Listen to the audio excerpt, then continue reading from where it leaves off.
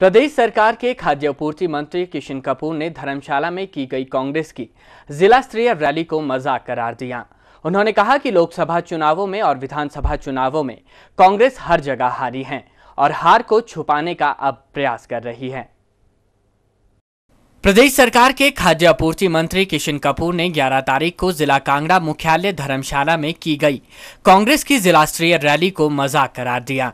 उन्होंने कहा कि कांग्रेस की रैली में कांग्रेस के सभी नेता मौजूद थे। यहाँ तक कि प्रदेशा अध्यक्ष सुखविंदर सिंह सुक्खू भी वहाँ खुद मौजूद थे। बावजूद उसके कांग्रेस की ये रैली विफल रही।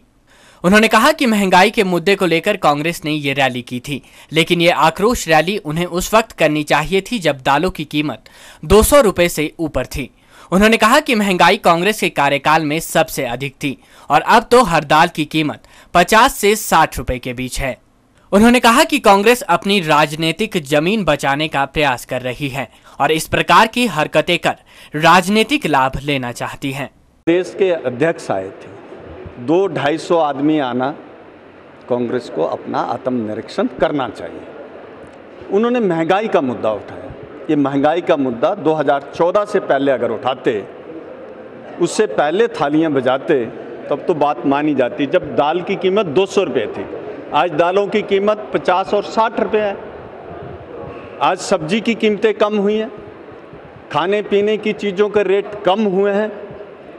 ये सत्ता की लड़ाई के लिए कांग्रेस ड्रामा कर रही है और ड्रामा भी थाली बजा के कर रही थी। अपराध के मुद्दे पर कपूर ने कहा कि सबसे अधिक अपराध कांग्रेस के कार्यकाल में हुआ था। उन्होंने कहा कि गुड़िया मामला कांग्रेस के कार्यकाल में हुआ था। और कांग्रेस ने अपराधियों को बचाने का प्रयास किया था और आज सभी अधिकारी जेल में हैं। उन्होंने कहा कि कांग्रेस के वक्त पुलिस अधिकारी अपराधियों को बचाने में लगे रहते थे, लेकिन भाजपा के समय में सभी अधिकारी अच्छा काम कर रहे हैं और किसी भी सूरत में अपराधियों को नहीं बख्शा जाएगा। कांग्रेस के समय में गुड़िया प्रकरण कब हुआ था?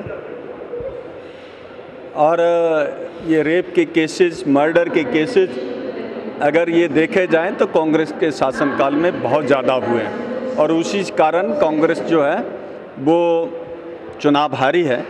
और इनके समय में अपराधी अपराध करता था, धड़ल्ले से भाग जाता था। भारतीय जनता पार्टी के शासनकाल में किसी ने भी अगर अपराध किया है, चाहे वो रेप का केस हो, चाहे मर्डर का केस हो, उनको तुरंत पकड़कर जेल की सलाखों में बंद किया है। सर शक्ति बटन और कांग्रेस के समय में भी पुलिस के अधिकारी जो थे वो आईजी रैंक का ऑफिसर एसपी। ऐसे लोग जेल में गए। किस कारण गए क्योंकि अपराधियों को बचाने का षड्यंत्र उन्होंने रचा था। सिटी चैनल के लिए धर्मशाला से नृपजीत निपी की रिपोर्ट।